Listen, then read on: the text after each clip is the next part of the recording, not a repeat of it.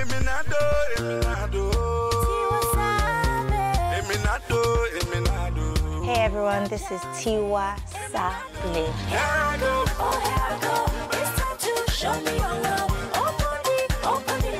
MTV Base has played such a huge part, huge, huge part in my career. I mean, the support is, you know, undeniable. Having my songs on heavy rotation, in their charts, and the fact that they're able to get my music across Africa and to the rest of the world definitely helped my career over the years. Baby, you're too much of you. My darling, my darling, I love you. One of my personal memories of Mamas, as we call it, um, I believe when I first moved back to Nigeria, they had it in a hotel. Rick Ross was performing, I think Sasha was performing, Mo'Cheddah won an award that year.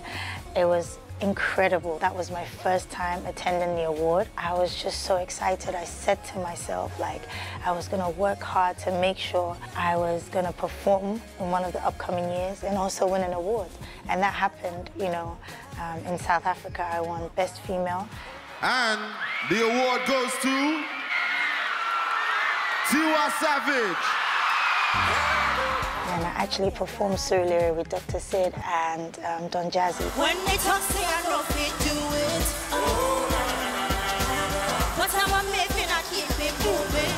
Uh, you can't stop what I'm doing. I'm excited about what the future holds. I think this is a great time for African music, for Africa as a continent in general. I'm so blessed to be part of what's happening right now.